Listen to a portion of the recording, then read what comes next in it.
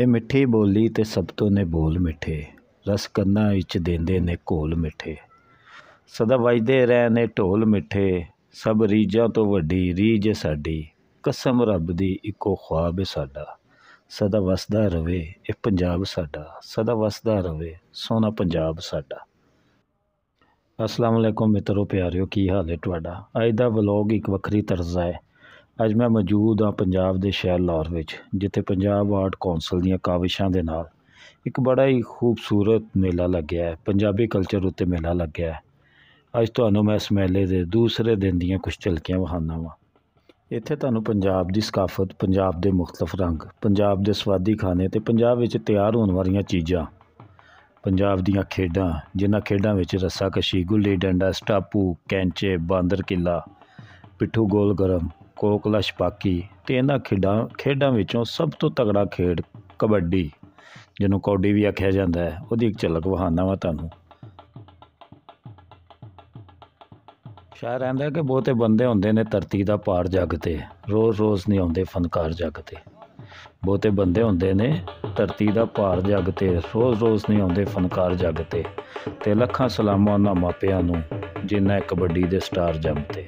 ਜਿਨ੍ਹਾਂ ਇਹ ਕਬੱਡੀ ਦੇ ਸਟਾਰ ਜੰਮ ਤੇ।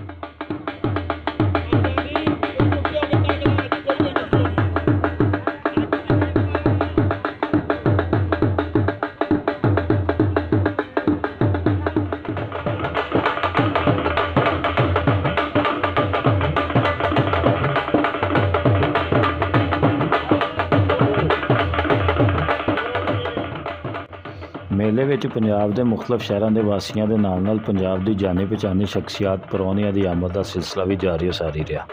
ਇਸ ਦੌਰਾਨ ਹੀ ਜਨਾਬ ਅਵੈਸ ਘੁੰਮਣ ਸਿਆਲਕੋਟੀ ਸਾਹਿਬ ਵੀ ਤਸ਼ਰੀਫ ਲਿਆਏ। ਘੁੰਮਣ ਸਾਹਿਬ ਦੀਆਂ ਬੜੀਆਂ ਮੁਹੱਬਤਾਂ ਚਾਵਾਂ ਨਾਲ ਇਸਤਕਬਾਲ ਕੀਤਾ ਗਿਆ। ਬਕਾਇਦਾ ਢੋਲ ਦੀ ਠਾਪ ਦੇ ਉੱਤੇ ਭੰਗੜੇ ਵੀ ਪਾਏ ਗਏ ਘੁੰਮਣ ਸਾਹਿਬ ਦੀ ਆਮਦ ਦੇ ਉੱਤੇ।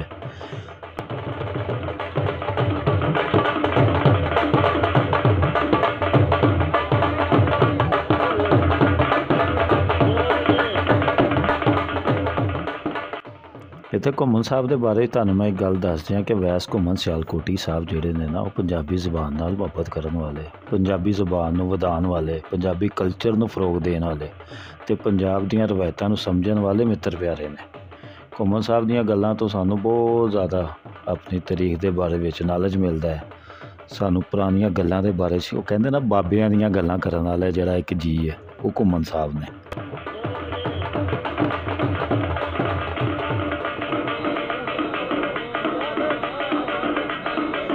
ਇੱਥੇ ਲੈਲਪੁਰੀਆ ਸਾਹਿਬ ਵੀ ਆਏ ਸਨ। ਲੈਲਪੁਰੀਆ ਸਾਹਿਬ ਕੋ ਬੜੇ ਲੋਕਾਂ ਨੇ ਗੀਤ ਸੁਨੇ ਬੜੇ ਲੋਕਾਂ ਸੈਲਫੀਆਂ ਬਣਾਈਆਂ ਉਹਨਾਂ ਨਾਲ ਬੜਾ ਪਿਆਰ ਬਣਿਆ ਲੈਲਪੁਰੀਆ ਸਾਹਿਬ ਨੇ ਬੜੇ ਅੱਛੇ ਅੱਛੇ ਉਹਨਾਂ ਨੇ ਗੀਤ ਸੁਣਾਏ। ਬੜਾ ਸ਼ੁਗਲ ਲਾਇਆ, ਭੰਗੜਾ ਵੀ ਬੜਾ ਪਾਇਆ, ਤੁਹਾਨੂੰ ਅੱਗੇ ਜਾ ਕੇ ਵਿਖਾਣੇ ਆ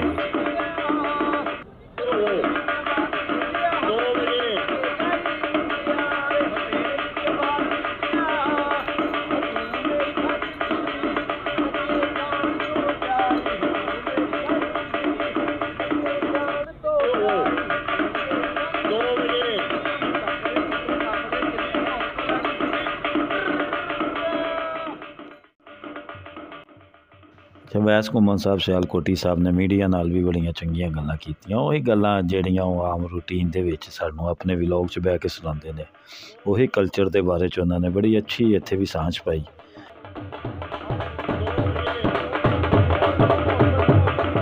ਸ਼ਾਮ